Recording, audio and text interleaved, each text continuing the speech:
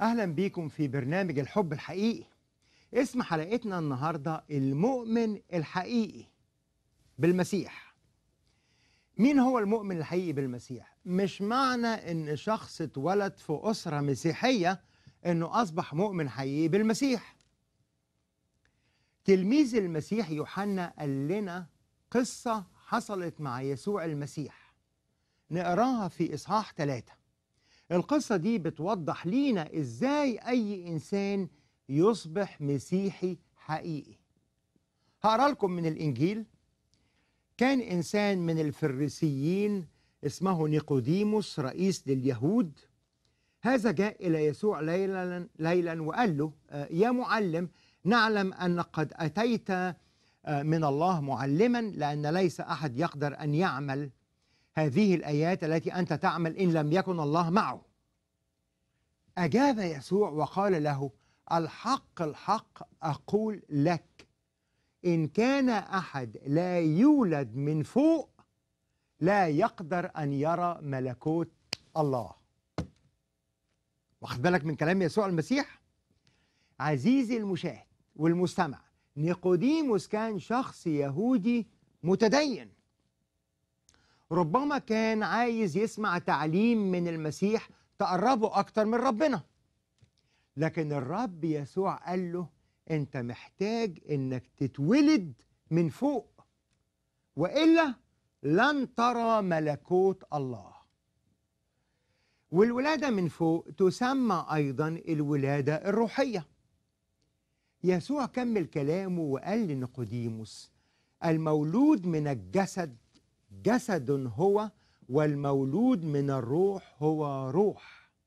لا تتعجب أني قلت لك ينبغي أن تولدوا من فوق. يسوع شرح لينا ولنقوديموس إزاي الولادة الروحية من فوق تحصل. كلام مهم جدا. من أهم كلام الإنجيل اللي قاله يسوع. يسوع قال له قصة حصلت في العهد القديم لما شعب إسرائيل كانوا ماشيين في البرية وتذمروا واشتكوا واتكلموا ضد الله وضد موسى. الله عاقبهم بإنه أرسل حيات فلدغت الشعب. ويهود كتير قوي ماتوا. واللي عاشوا صلوا للرب صرخوا وتابوا. بنقرأ في سفر العدد آه، إصحاح 21 عدد تسعة. الرب قال لموسى اصنع حية من النحاس وضعها على راية. فكل شخص لدغ ونظر إليها يحيا. فصنع موسى حية من نحاس ووضعها على راية. فكانت متى لدغت حية إنسان ونظر إلى حية النحاس؟ يحيا يسوع أكمل حديثه مع نيقوديموس وقال له وكما رفع موسى الحية في البرية هكذا ينبغي أن يرفع ابن الإنسان لكي لا يهلك كل من يؤمن به بل تكون له الحياة الأبدية. يسوع قال لنيقوديموس القصة اللي حصلت مع اليهود علشان يساعده يفهم إزاي بتحصل الولادة الجديدة اللي من فوق. المسيح اترفع على عود الصليب مع إنه بلا خطية.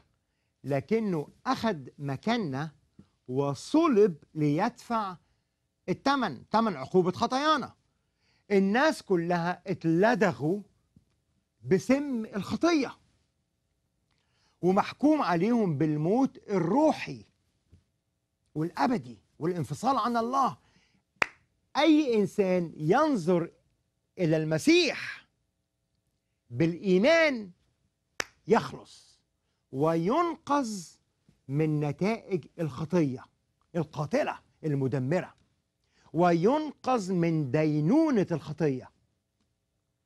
النظر إلى الحية النحاسية أنقذت الناس من الموت الجسدي والنظر إلى المسيح يخلص من الموت الأبدي والموت الروحي. وبعد كده نقرأ إن يسوع قال لنيقوديموس في عدد 16 الآية المشهورة جدا لأنه هكذا أحب الله العالم حتى بذل ابنه الوحيد لكي لا يهلك كل من يؤمن به بل تكون له الحياة الأبدية. الولادة اللي من فوق اللي من عند ربنا تحدث للشخص اللي بيتوب توبة حقيقية أي يقرر من كل قلبه إنه يعيش حسب إرادة الله. ويضع ثقته إن يسوع المسيح مات على الصليب ودفع ثمن عقوبة خطاياه ويقبل يسوع في حياته كمخلص شخصي ليه. بعد أن تتولد من الله ولادة روحية سيسكن بداخلك روح الله وستصبح ابن من أولاد الله. هتصبحي بنت من بنات الله. في اللحظة اللي بتضعي فيها نظرك وثقتك في يسوع المسيح وفي اللي عمله لأجلك. أشجعك إنك تصلي معايا الآن. يا رب أنا بشكرك جدا إنك أنت دبرت الحل عشان تحررني من دفع عقوبة كل خطاياي. لأن أنا ما أقدرش أدفعها يا رب. لأن العقوبة هي انفصال عنك وموت الآن وإلى الأبد. يا يسوع أنا بالإيمان بضع ثقتي فيك. إنك أنت اترفعت على الصليب ومت بدلا عني عشان تدفع ثمن عقوبة كل خطاياي. أنا بقبلك يا يسوع في حياتي كمخلص. أشكرك يا الله جدا إنك أنت حبتني ووصلت لي رسالة محبتك وخلاصك.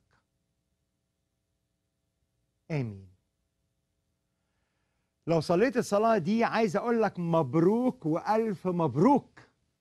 مهم جدا إنك تصلي كل يوم عشان ربنا أبوك السماوي يرشدك.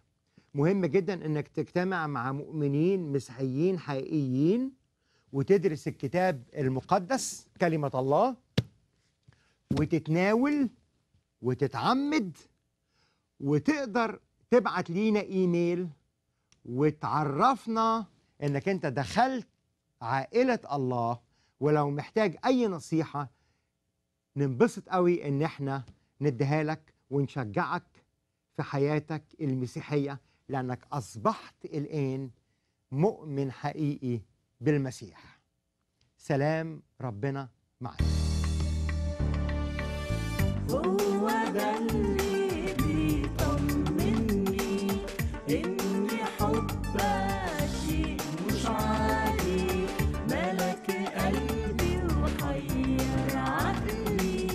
قلبي وحير عقلي هفضل أرن